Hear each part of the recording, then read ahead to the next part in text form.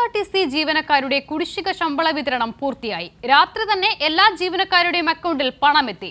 ശമ്പള കുടിശ്ശിക തീർക്കാൻ സംസ്ഥാന സർക്കാർ കെ എസ് ആർ ടി സിക്ക് നൂറ് കോടി രൂപ അനുവദിച്ചിരുന്നു.